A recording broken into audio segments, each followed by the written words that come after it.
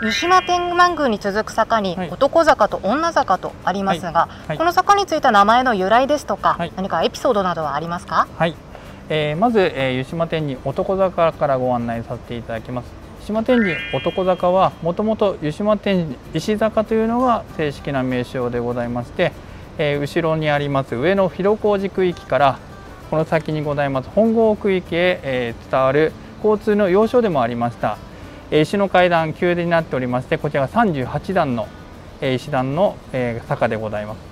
す。それに対しましてこちらにございますのが島天神女坂。男坂女坂という名称の石段はこちら島天神ではなく他の神社さんにもよくある坂でございます。男坂に対しまして女坂は女性が着物を踏まないように歩くことができるというような作りをしておりまして緩やかな階段。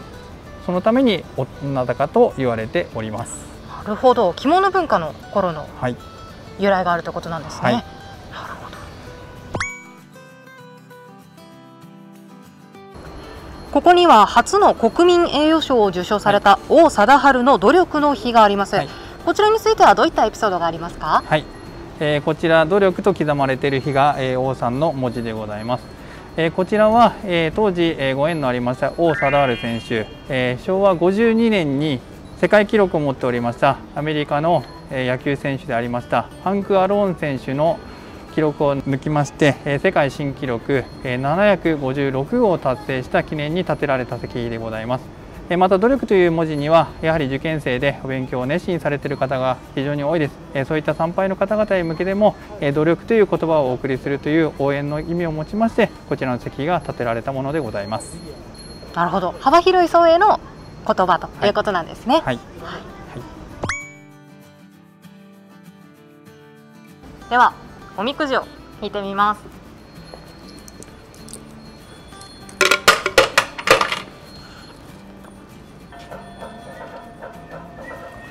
牛です。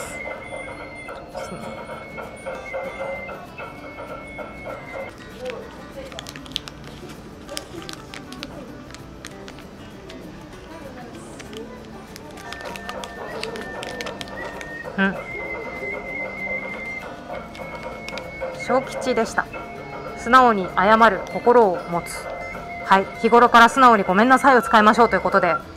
より気をつけていきたいと思います。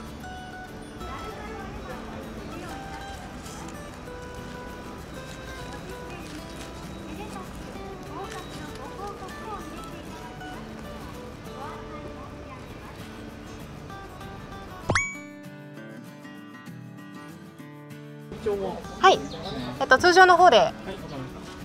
この鉛筆とあと神社守りこの白いこちらですかね。はい、お願いします。